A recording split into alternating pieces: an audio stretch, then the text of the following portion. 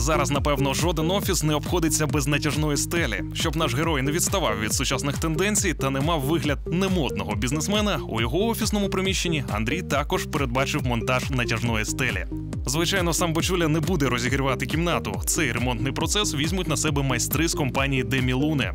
Пам'ятайте, що натяжна стеля встановлюється після закінчення усіх будівельних і оздоблювальних робіт, щоб не пошкодити і не забруднити полотно.